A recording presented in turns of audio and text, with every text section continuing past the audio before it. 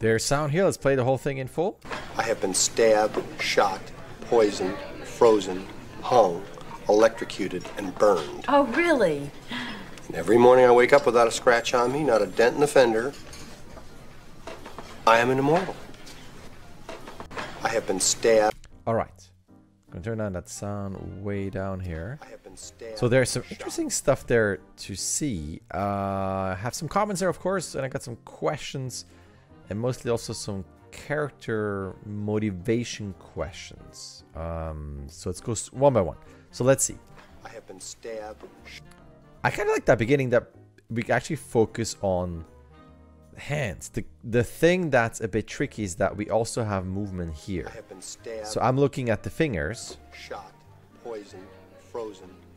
and I guess it's just a reaction to Frozen that she has here. I don't know. To me, it seems like it's also a bit of an overlap with this. Like, if then I will put them further out, you know, where the feet are maybe here, just kind of cheat that distance. We don't really care about the, you know, the real life distance there. And then potentially, since we are a bit low every now and then on this, bring up that arm and the hand so that, excuse me, the fingers are more about here. There's something where we globally take the whole thing and move it up a bit and her a bit over there. Personally, just just in terms of composition and I have been stabbed, shot, poisoned, yeah, and, and, and readability. frozen, hung. I have been stabbed, shot, poisoned, frozen. Watch out at the end. Like I don't mind stabbed, the way it's here and the contact point is, is good on the fingers. Just this seems a bit odd at the, at the very end. Once we hear frozen. How the fingers kind of spread out to the side. To me, I would just go boom and then cut. Or if you want to hold for a little bit, just keep it around here and have the moving hold more in the in the wrist and arm. You know, potentially just kind of keep whatever you have, but not move. Personally, I wouldn't move the fingers up. That feels like a a weird deliberate move, mainly because also this finger doesn't move and this one really wants to go over there. Stab, shot, poisoned, frozen, hung. Now, the thing is now, the transition to this shot. If we keep this and we look at this, they're, they're moving fairly slowly and kind of softly. Shot, poisoned, frozen. As if, you know, it's kind of listening maybe, but not really that tense. But then we cut to, hmm, squinty face. Hmm, what am I listening to here? Where it feels like the feet would be staying like this, maybe with some movement every now and then, but sharper movement that kind of reflects the tension that's in there. hung, electrocuted, and burned. Oh, really? The thing that's kind of odd, I'm going to put the sound back in here, is that Electrocuted and burned. she is reacting to what he's saying. So, all right, that's fine.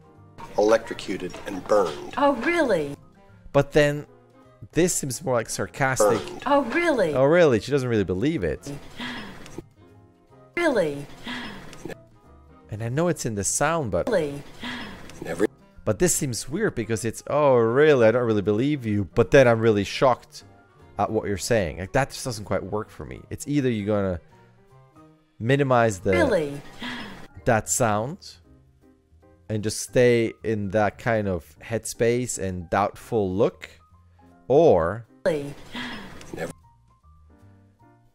Or go into like a sigh smile really where it's more like oh really and then that imagine she would just kind of almost go from here to here but not back but imagine this goes down a bit slower to match that sound but then more b- with a bit of a smile and eye roll like i can't believe he's saying all this that to me would make more sense given this and especially the uh, the, the tone here and burned. Oh, really?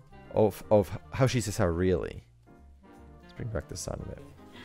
Every morning I wake Which then would have to kind of match to you know so you don't end up with this. So whatever you end up here will match there in terms of her. And then the weird thing is that let's go back up with the sound. Every morning I wake up without a scratch on me, not a dent in the fender. So he says all this.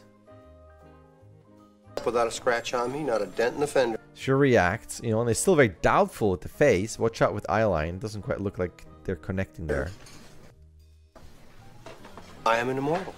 Like the way he does this, like I don't mind what he does because he he says all that dent in the stuff. fender. I think this beard is really strange. How much there's movement in a beard in the chin. This is usually fairly, you know, fairly. It doesn't really move at all. If there may be this thing, but if there's a ton of wind, so to me, I would take out the animation on the chin and the hair.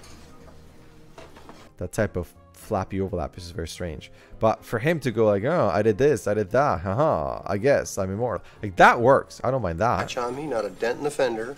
This, I would be careful because then you get into that classic W pose where me, not a dent in the fender. Like, what is he pointing to or towards? Like, why do we need that? I think to me it would be more. The fender. What is he going? He goes back there. I don't know. To me personally, these are usually overused gestures in animation. The W pose and just arms out and then you know pointing and stuff like that. It could just be since you've using been using arms. It could just be something where this is purely told through the chest, shoulder, and head, and the arms actually just go back down with hands on on the thigh. Personally, that's kind of how I would explore that. Um, silhouette wise, I would try to bring that hand a bit more over here.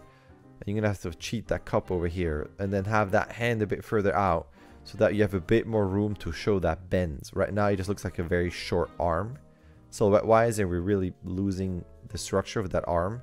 Whereas this is better. I mean, if it's something like this, imagine arms just lower, hand here, hand here. Really understand the length of both arms. And then, so the other thing that's kind of odd is that he says all this, and she's all suspicious. And then suddenly, like, why is she suddenly going crazy-eyed? You know, really just showing a lot of white on the eyeball, looking at this I am an immortal. to grab this. And again, we're back to W pose. Watch out for stuff like that. I am an immortal. To grab this, and if there's something in there, this would just spill. Oh. I don't know. To me, like, if she is, if she's not really interested, like, you could, to me, sell this. Although it's tricky because, morning, I wake like, we want to look at him. up without a scratch on me, not a dent in the fender. I'm not super worried about this, even though it, this steals the focus of Without him. a scratch on me, not a dent in the fender. He, he does just keep talking, repeating himself, kind of. So it's I don't I don't actually quite mind that she does that thing, but thinking out loud, what I'm thinking here is that he does all this. She's not really believing any of this. Like, hmm. So do not have this re- this shock reaction. And when this happens, it could just be maybe she drinks and realizes, oh, it's empty. And because she doesn't have any coffee anymore, that's why she wants this. And this would just be more Scratch on me, not a maybe at this point you can also do it where he's done talking since you already don't have any eye contact he would be looking here and then almost looking at camera and then looking over and looking over so you have a bit more of a gradual you know um progression of him looking away and because he starts looking away she then puts the coffee cup down but then just kind of grabs this and kind of slides it over and not to draw attention just, just to kind of sneak it over and then to drink. I hope that makes sense. It just to me all those elements seem odd where she has shock and then she's back into not trusting. Then she's going into like a big thing that he would absolutely notice. And that is a huge gesture that would spill everything else. And I think I would combine or think about moments of well, if she is out of coffee, if she wants that coffee. Why does she want that coffee? Is that because she's out of coffee or this tastes bad and she just wants this? And then she would just kind of grab it or you know a bit more sneakily grab it into that end i know like i have a bit more i'm okay with all the stuff that he does he seems fairly in character and seems all okay i'm just slightly confused about that so i guess it's more questions than critique i guess so let me know let me know an email let's talk about this and uh, what we can do about all that all right thanks All right. There's an email. You can sign up. You can start whenever you want. You can submit whenever you want. You get 16 submissions. Either way, a like and subscribe would be awesome. All right. Thank you.